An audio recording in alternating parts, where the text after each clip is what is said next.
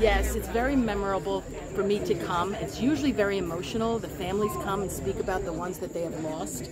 And we have to remember that they had a life. We're not going to remember them for how they passed. We're going to remember them for the people that they were.